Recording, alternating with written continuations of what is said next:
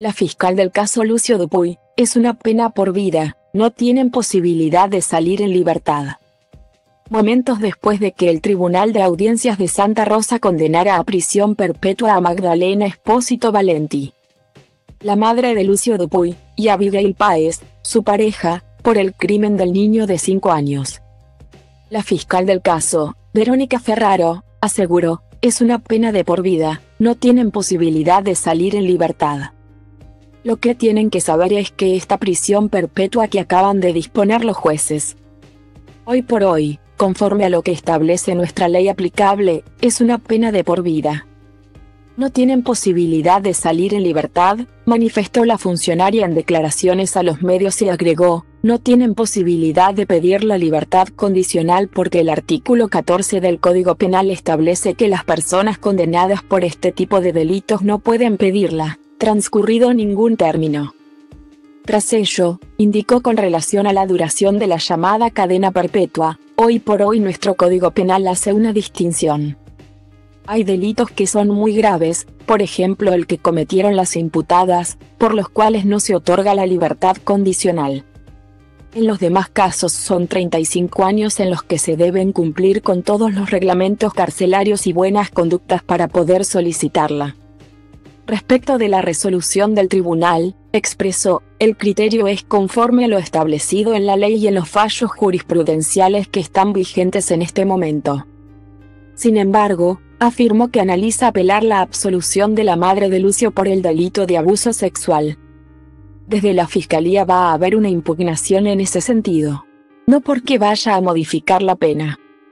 Porque ya le pusieron la pena más grave que prevé el código, sino porque los hechos ocurrieron de esa manera y queremos que estén establecidos en la sentencia todos los hechos por los cuales fueron imputadas ambas acusadas, señaló. Magdalena Espósito Valenti, la madre de Lucio Dupuy, y Abigail Páez, su pareja. Fueron condenadas hoy por un tribunal de la ciudad de Santa Rosa a la pena de prisión perpetua por haber asesinado al niño de 5 años en noviembre de 2021.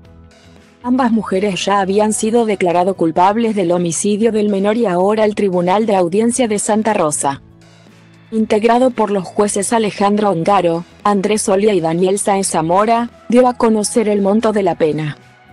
Al tiempo que rechazó el pedido por el que la familia de la víctima había solicitado que se les aplicara el tiempo indeterminado como accesoria a la prisión perpetua tal como ocurrió en la audiencia anterior, en la que se leyó el veredicto condenatorio.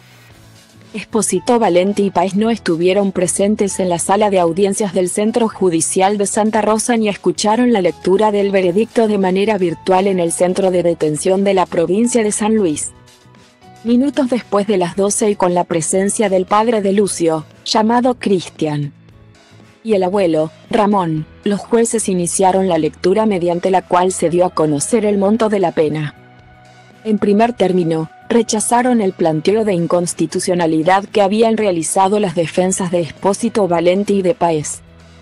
Luego, condenaron a prisión perpetua a la primera por los delitos de homicidio triplemente calificado por el ensañamiento, por la alevosía y por el vínculo, mientras que a su pareja, Abigail Páez, le aplicaron la misma condena por el mismo delito. Aunque le agregaron el abuso sexual gravemente ultrajante de Lucio. Los jueces consideraron, además, la accesoria del artículo 12, relacionada a la administración de los bienes. Pero no tuvieron en cuenta los otros planteos de la querella, vinculados al tiempo indeterminado de la reclusión y al odio de género planteado como agravante. Por ese motivo, el abogado que representa al padre y al abuelo del niño, Mario Aguerrido, expresó su rechazo a la sentencia y anunció una conferencia de prensa para las 14:30 en su estudio.